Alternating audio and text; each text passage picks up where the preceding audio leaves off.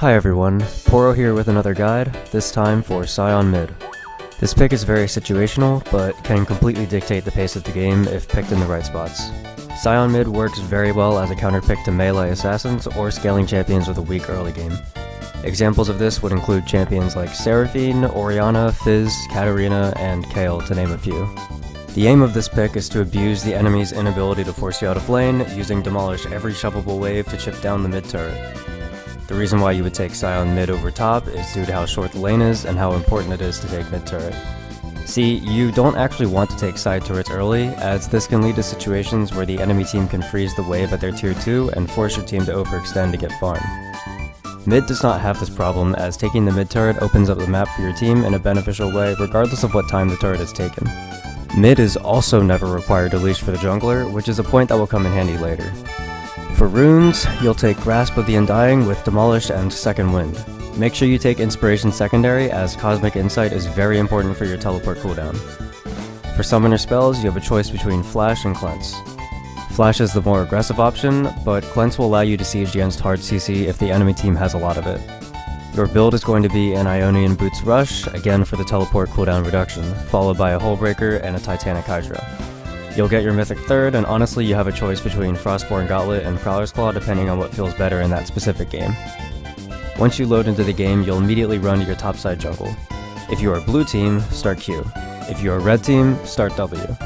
At the 115 mark, you'll invade the enemy's topside if possible and take either Raptors in red or blue and Gromp. By doing this, you'll ruin the enemy jungler's tempo.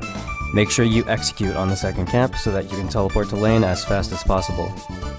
Keep in mind that by stealing two camps, you're already up an effective 400 gold, so there's no pressure on you if you fall behind. If you started a Ruby Crystal, your team is actually up 800 gold, which is a huge level 1 lead. Your game plan in lane is to absorb poke with second wind and natural tankiness while attempting to pile and shove waves to proc demolish on the enemy turret. If the enemy is positioned incorrectly, you can get a huge chunk of damage on them by slowing them with E and then hitting them with a WQ. Two of these combos will kill, so hit one and the enemy is forced to back away. After you take the first turret, you have a couple options. You can shove mid and look for Rift Herald priority, or you can attempt to force side turrets the same way you forced mid. While doing this, your main focus should be waiting for the enemy to position incorrectly when the mid wave is shoving towards turret. The instant this blunder occurs, ult the tier 2 mid turret and proc demolish to take either half the turret or all of it if nobody comes to stop you.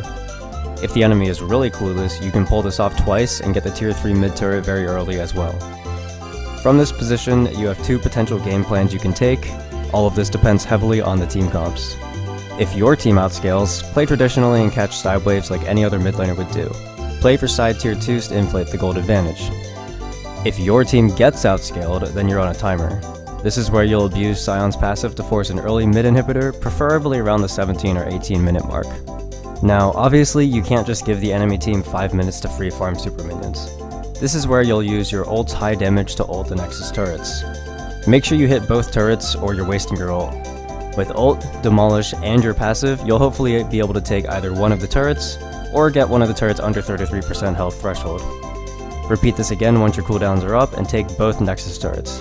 Make sure you drop a ward on the Nexus before you die. This is where it gets funky. Sell all of your items and buy Nashor's, Deathcap, and Berserker Greaves.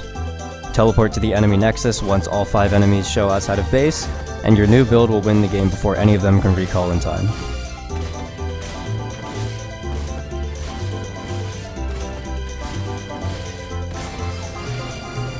That's it for this guide. If you enjoyed, consider subscribing. I stream on Twitch at twitch.tv slash psychopathicporo, so maybe you'll catch me playing this live. Thanks for watching.